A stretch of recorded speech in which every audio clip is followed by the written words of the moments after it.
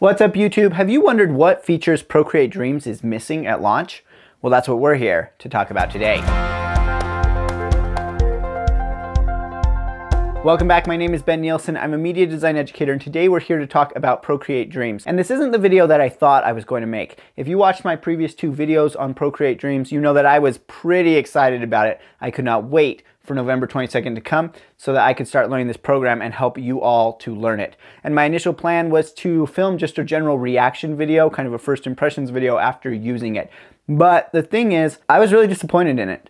Um, it didn't do what I was really anticipating that it would do, and there are so many reaction videos from people who got early access, so many early tutorials that I didn't feel I needed to do that because there's plenty out there for you to watch. So I'm here to tell you before you purchase it what I think is missing and if that's a deal breaker for you, maybe you don't want to purchase it yet, you want to hold off. Now, I feel pretty confident that the folks at Savage are going to continue to iterate on this to build it up and that these things will probably be added in eventually. But right now, it's missing some things that are fundamental, I think, for me to really be able to make use of it the way that I want to.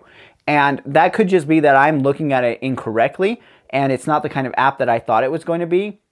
But this is kind of just for me using it, and that is as an animation app and as a motion graphics app. Those are the things that I thought that it would be able to do.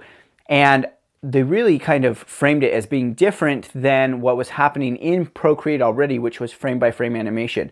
But when you dive into it, it really is mostly a frame by frame animation app still. There's some keyframing and some ability to do a few other things, but it's really focused on frame by frame animation, which I was a little confused by because we already had pretty good frame by frame animation in Procreate already. Um, but this of course expands the length that you can do and has a lot more capabilities, but it's still kind of frame by frame animation. And that's one thing that Brad Colbow also pointed out in his video about it, is that it really is focused on frame by frame animation. And if you're used to coming from a digital video editing background, it's going to seem a little bit clunky to you. So let's go in and hit five things that I think Procreate Dreams needs to have in order to really succeed that it doesn't have right now. The first one is keyboard controls.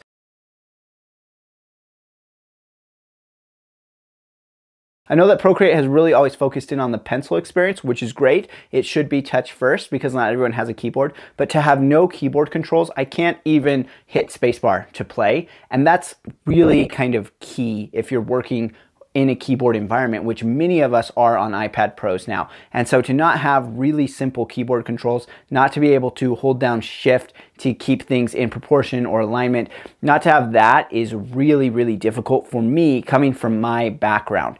And I really just think that they need to add in some keyboard controls. Many of us use keyboards with our iPads, and so we need that to come in in order for this to be a professional level app. Number two goes along with that, and that is alignment and snapping tools. Now, we've had snapping in Procreate for as long as I can remember it being in Procreate, and I can't figure out a way to turn snapping on inside of Procreate Dreams, and there's no way to line things up. So that may not be really important for you doing hand animation if you're onion skinning everything. But if you're trying to do something like animate a title, then you need that so that you can make sure that you're in the center all the way across. And maybe it's there and I just can't find it. If you know and it's there, please let me know. I need those snapping and alignment tools in order for this app to be functional for me. Number three is we need drawing performance. So there's this new mode called performance where you can just kind of start going and you can manipulate things and it will add in keyframes as you go and it will kind of play it in real time. That's great for an object that you already have, but we don't have that for drawing on. So if I want to be able to draw on, say I'm doing a screencast video and I want to draw on an arrow pointing at something, I have to animate every single frame of that arrow. And it's very laborious when what we want is to just be able to draw on. And I was absolutely certain that this was going to come. I, if you had asked me, will this be in Procreate Dreams? I totally would have said, yes, that's going to be in Procreate Dreams for sure. I can't imagine them creating a drawing focused animation app that can't do that. And for some reason it can't. And I think that for me, that's really, really difficult because I could already kind of do that in Procreate using time lapse. I could draw and then export the time lapse to create a drawing animation. And so to not be able to do that in Procreate Dreams, the app that's focused on animation, that's really kind of difficult for me to understand why that is. So I think they absolutely have to add that in so that you can draw and it will add each frame as it goes. Now, along with that, one of the things that you have to do right now in this frame by frame animation is use the flipbook mode a lot. And this is very similar to what we already had in the animation features in Procreate, except that it's like kind of a little bit worse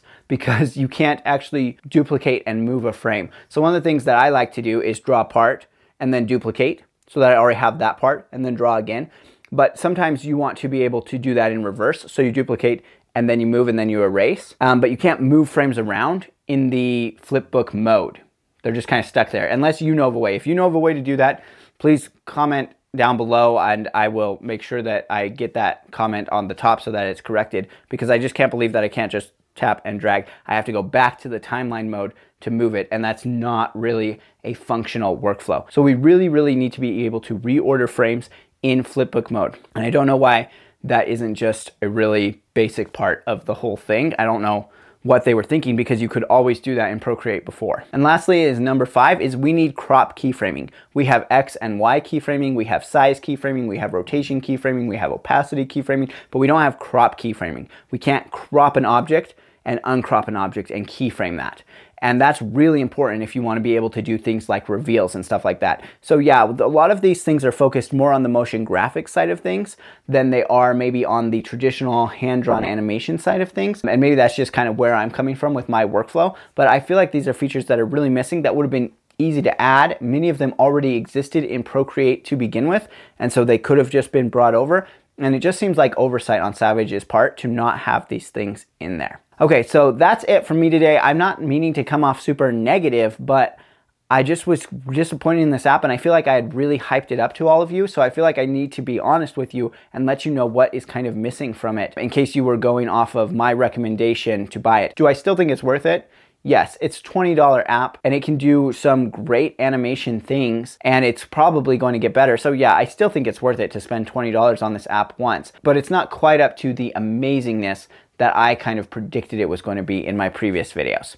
Okay, I would love to hear from you now in the comments. Go down there, let me know what you think of Procreate Dreams if you've been using it or if you've been watching other people's videos on it. Let me know what you think is awesome about it. Let me know what you think is missing from it. We'll chat in the comments and I will see you in the next video.